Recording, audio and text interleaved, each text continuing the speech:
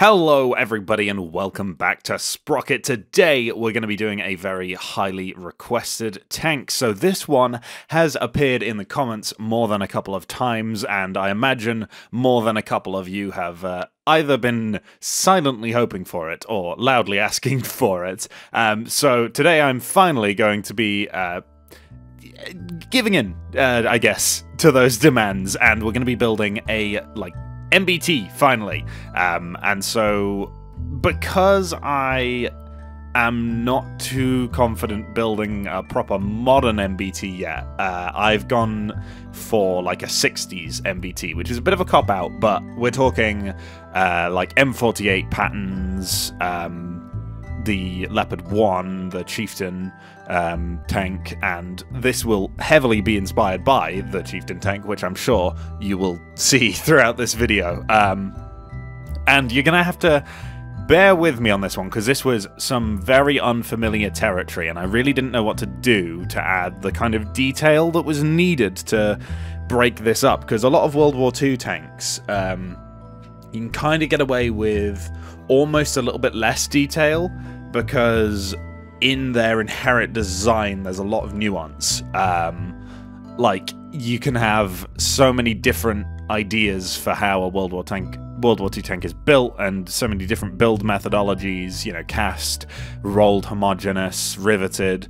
Uh, by the Cold War, we'd kind of worked out what was good. And so uh, in order to make up for that, you kind of need to fill the space on your tank, make it look like it's been lived in. Uh, otherwise, it looks very flat and very plain, and that is kind of how real tanks look. Uh, I don't know if anyone agrees with this or gets where I'm coming from, but yeah, it was it was definitely something different, something new that I'd never really done before. And uh, there, you can see the turret slightly glitching out. Luckily, we did manage to fix that. Um, quite amusingly, this uh, started out as the turret from my uh, like semi-turreted tank destroyer from a few videos ago. So, you know, uh, reusing parts to save time. Uh, bit of a weird part to reuse, I guess, but I figured that it already had as many points as I would need to make this thing look kind of smooth. Uh, and here I am putting the gun on. Um, so, yeah, I mean, this gun's a bit high. I do move it down, um, and I play around with the barrel quite a lot because there's the you know World War II barrels are just just a tube. Cold War barrels they started having these you know um, recoiled sections for uh, something I don't know what they do. Um, I'm assuming they're important. Oh well. um, uh, and yeah, I mean, to be fair, the tank is looking pretty much uh, resembling what it kind of looks like at the end now. Uh, one thing that is definitely constant for this tank is the front of the turret looks a little bit plain. Um, obviously, I was basing this off the Chieftain, and that has like this um, fabric dust cover over the front of the turret and over like you know wraps around the cannon. Um, and that really breaks up the front but underneath that i'm pretty sure it's just not just armor just thick metal. Um, so yeah uh, maybe i'm going insane there but I, I didn't really know what to do with the front of this thing so i ended up putting on some um, bed rolls that they added in the recent new parts update but yeah, I mean, it doesn't make a huge amount of sense to put your bedrolls on the front of the tank, but you know what? I did it anyway. And here we have it, everyone. So, there have been a couple of small modifications since you last saw this tank. Uh, there were just a few things I wanted to work out, so I took it out into um, like some some just battles off camera uh, in order to work out any bugs and glitches so we can just show you the tank in full operational glory. And it is glorious. 58 tons of. Uh, legally distinct from the chieftain prowess. We swear it's not inspired by the chieftain. But it slightly is. Uh, yeah.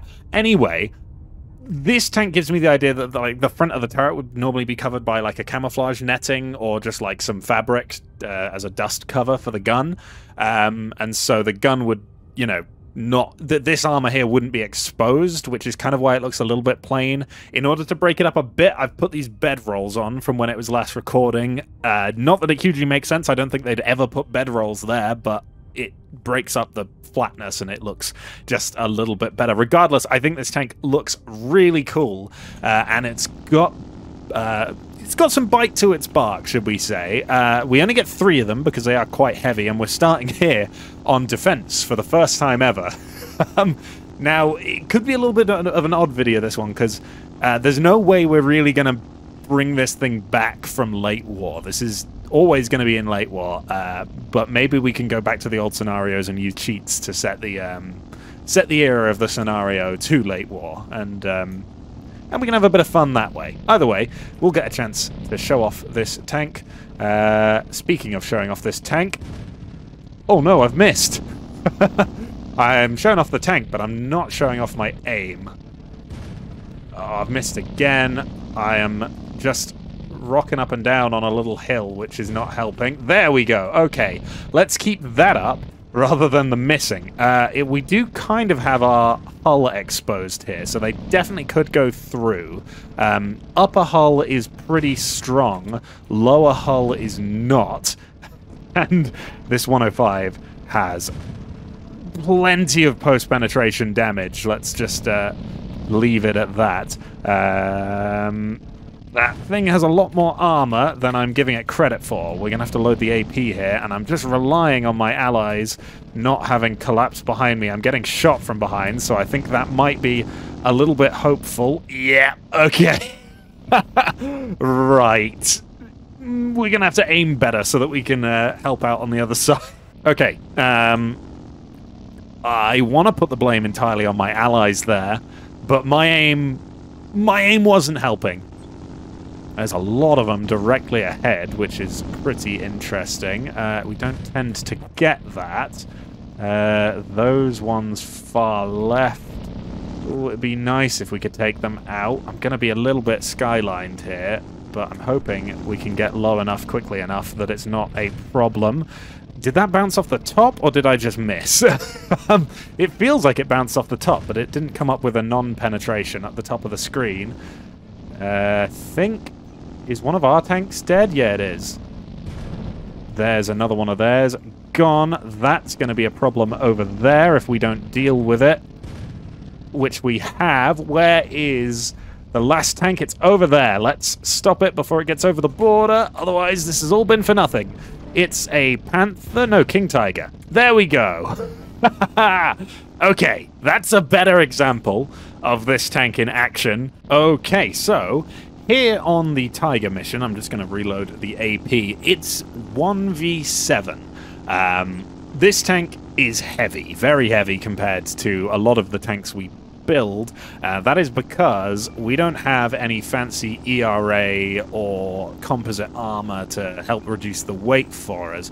We're just relying on basically thick steel uh, for our Cold War MBT here, which is working, uh, but it does mean that our turret armor is uh, about 220 millimeters thick, most of the front, uh, which adds some weight, should we say. Uh, that has not killed him, which is upsetting. I have the AP loaded, which is why, but there we go. That one has done the job. There is a tank directly in front of us, but I'm going to kill that one while my turret's aimed. Uh, what is that? That is a King Tiger. Okay, that still hasn't had the fix to its turret, uh, vertical cannon drive, so that's a little bit of a disappointment, but I'll take it nonetheless. You can see how easy it is for us to go through their armor, uh, and this 105 really packs a punch when it does go through. Um, facing downhill is bad for me. That was close. Um, where are they? I saw the shot. Ah, there they are. Um, because this front hull is actually only 70 millimeters thick. It's just, um, obviously, the angle that it's at normally, you can see that's just so, so angled that nothing is ever going to go through, basically. Going downhill, going to reduce that. They could probably go through. Uh, that'll reduce the effective thickness from what it is right now, which is, I, th I think, about 300 to probably about 150. So, yeah, not good. That's an enemy over there. Uh, what are you? Oh, you're a king tiger. Thank you, Fenders, for coming up and blinding me. That's unique. Um, yeah, there we go. That's him dealt with. Oh. Hi. Uh, how's it going? yeah, those um, those I imagine will be getting a fix fairly soon. Uh, I have seen the suggestions to replace the in-game tanks with my own tanks, but I'm gonna need a, uh, a tank of similar calibers to the King Tiger to replace it with. Maybe this. Maybe this tank could be the one. We'll see. Um, it's about the same size. It's got more penetration and more armor and more mobility, but, you know, it's got weak spots. If you hit the lower plate, you'll kill it. Maybe seven enemy tanks. We'll see what they are. Uh, hopefully they're something like the Spatter, uh, which is the correct era. Otherwise, we are just going to absolutely seal club them. I should probably reload the APHE, actually, for this uh, this bit of battling. Um, can I get hulled down? Not really, so I guess I'm just fighting for my life like a man. Or, in this case, a tank. Uh, hello there. Ah, they are from the previous era. That is a shame, but we'll go through with it anyway, because who doesn't love a bit of seal clubbing? Yeah, they're, they're not going to get through. I mean, they could get lucky and hit my lower plate, but I don't think so. That's his... No, his track's not gone. We reverse pretty damn quickly. Oh, they got through. Okay, they found my lower plate. Fair enough. I shouldn't... I should not get complacent, clearly. Only five tanks this time. They're going to be a little bit stronger individually, we can assume. Um, what have we got? Hopefully... Uh, this is a much better position if we can actually stay in it, but we do have quite the slow reload. Um, so maybe we can't. They're going to the side of me. Uh, let's kill another one. Okay, we failed, and then angle to get them. Side of my turret is also very weak. Uh, it is an MBT, so obviously all the armor is focused on places where you expect to be fighting the enemies, and then you save weight with the rest of the tank. Um, however, this is going a lot better than last time, in that both of our turrets haven't flown off. Uh, that was an awful shot. they have killed my other tank. Okay, it's just me now. Um, and we are no longer hulled down. So let's not suffer the same fate as we did last time. There we go. Okay. We are oh okay. We're I've said okay too many times. Um what, what do we got? Okay. Panthers or tigers, I'm assuming, is what we're going to get, even with this era change. And it's tigers. Okay, that's pretty good for us. Uh, my aim not so much. Gonna have to lead a little bit more than that. There we go. Popped his turret clean off. Always satisfying. Uh, another one over there. Probably about that range. I hit him, but on the roof. We're to have to go a little bit lower. Um, and that's gone to the right. I think that's just dispersion that's done that, though. Oh! Okay, this is not what I expected to be the most difficult mission uh, for this tank, to be honest. Okay, this time, instead of fighting them in a long-range brawl, because the AI, they are kind of good at aiming at long range, and I'm not. So, let's not play to their advantage here. Let's just wait for them and use this hill to our advantage the best we can that's probably the best move we can do here. I've got the AP loaded, so we shouldn't have to worry about going through, even in slightly trolly places. If we hit, like, the top of the turret or something, that is always going to bounce off. But if it's only slightly trolly, we should be okay. Now, there were two tanks over there. I think they're Panthers this time. Um, can I go through the front hull? I can. Okay, that gives me some confidence. Gotta keep my eyes open here. There is a panther humping the back of that panther. I'll take that shot. That is another enemy just on my right. Lower the gun. Take the shot. We've gone through. Destroyed his engine. No, I didn't angle enough. That's just through my side armor. That is a complete failure of my brain. oh, I really thought we had it there. Okay, so I have resigned myself to my fate. I have increased the armor on the upper side of the hull underneath the turret. That's a very specific statement, but I didn't want to increase the armor across the entire side of the hull, so I've increased it over just the critical area around the turret basket. Okay, we're back kind of to our spot on the hill. There is a tiger up on top. Let us take that out. There we go. Was just waiting for the hull there. A little bit more confident with hull shots than turret shots on Tigers because the turrets are famously a little bit trolly. I don't know how much they are trolly in this game, but I know in other games they are very, very trolly. Um, so, yeah, just being brave. My ally has actually taken out one, which is a surprise. I didn't know if he would be doing anything from his position. Um, looks like he sniped one at really long range as well. So that leaves us with a numerical advantage for the first time ever. Um, that's my ally over there with his fenders on the floor. And there's the tiger. Okay, just got to get a shot in. Um, just got to get... He's killed my friend. He's killed my ally. How rude of you. We've done it. We We've beaten some tanks from an earlier era. How impressive of us. Okie dokie. So, uh, that wasn't enough content. Uh, it would have been a very short video. So, I have been into my Discord and I have asked for some kind of similar era MBTs. So, what we have here are um, what it, it, says three allied tanks and two enemy tanks, but it's actually two allied tanks and three enemy tanks. Um, we have two of our chieftain things and three uh, KPZ 70s on the enemy side. Now, I've had a look at the armor pattern of the enemy tanks to know if this would be a physically possible battle to win, and I think I'm going to struggle here. um, this tank is heavier, slower, with less penetration and less armor. Uh, however, we do have one trick up our sleeve, which is that our tank here is driven by a human. um, now that one wasn't, and so it's now on fire without a turret. Uh, so, yeah, um, fingers crossed, the human aspect here does help quite a lot, which it may well do when I get round this corner. Nope. Okay, we went through, but we've not killed it. Did we take out an engine? No, it's still moving. Um, okay.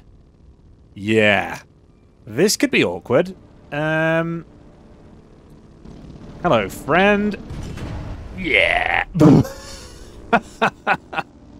okay, we're going to have a quick redo. Um, we're going to do one more try against the KPZ-70, uh, but I have a feeling it may go the same way. Um, yeah, I mean, it's it's I could probably have done a better job in uh, in designing a tank that could beat it, but I kind of want to stick to the the design principle here, and, and the KPZ-70 is, uh, I think, about 10 years newer than the Chieftain, if I'm not mistaken. So given that this is meant to somewhat replicate that, uh, you shouldn't be too surprised to hear that it is worse, but I could also be completely wrong about that, um, and I'm sure some of you will know, and uh, either be cringing or nodding right now. Um, one of those two options. Now, unideal for this situation is I don't have as much gun depression as I would like. So, yeah, no, it's not great. Um, for Dune combat, that is a side profile I'd very much like to shoot, but one I'm not going to get a chance to shoot. Um, oh, gosh. Come on. Gun depression. Just need a little bit more. Uh, that is the side of a turret. Okay, we got one. We got one. Um, my ally is still alive down there. There's another KPZ at the bottom of the dunes there. I'm not about to get flanked from behind, am I? Um, this is kind of not the best spot for me to be cresting the hill. Um, and that's not the best sign. Yeah, we've hit a lot of armor there. Um, uh, that's the side of a turret, though. I will happily take that. Blunders from the AI are my friend today. Now, let's not get complacent, because our ally is... Okay, the ally's fine. And actually, I just saw the last KPZ. It is over this hill here. We might win. We might win. We have two chances here. That is to say, two tanks. We've just kind of got to get around it. And I imagine it's got very good turret traverse. I didn't look into that. But I imagine it does. So this could be brave. But I don't have the depression to just peek. I'm going to have to go. And it's not quite worked. But it's taken out his engine. And we aren't slow. Good. No! Don't do it! No! okay. Um, well, we have no tracks. Are they going to put out the fire? Yes. they put out the fire. We'll call it a draw. no, that, that, that, that tank is better than mine. Um, so, yeah. Unfortunately, no shot today. And here is the part of the video where I unfortunately need to apologize to everybody else who sent in tanks for this video. Sadly, there will be no more tanks included in this video, as at this point in the recording, Sprocket decided to break horribly, and I just could not get custom battles to work again. No matter what I did, the tanks just wouldn't turn their turrets. I've validated game files, I've deleted the blueprint files and re-downloaded them and made sure that everything's fine with the actual designs. I've made sure the turrets don't have the turret not connected like things showing up. It doesn't work. So, uh there you go. I only got one in. Um, but hopefully we'll get a chance to do this in the future. Um, anyway, since I didn't get to do a normal outro, I'll do it here. Um, thank you for watching. Please leave a like, comment, and or subscribe if you enjoyed this video. You can leave in the comments or in my Discord suggestions channel suggestions for tanks you'd like to see in the future. Also, all tank files for this video will be included in the tank repository on my Discord server. If they're not there, uh, remind me. Uh, I I always forget this stuff. I've got a memory like a calendar. Anyway, hopefully I will see you in the future. Goodbye. And a huge thank you, as always, to my patrons. We have Rivera, Tree Loving Mango, Cam Jam 135 Sad Cat, DJ Pete's, Yoki 003, Caligo Drake, and Arul Bolstocken. Thank you very much for supporting the channel.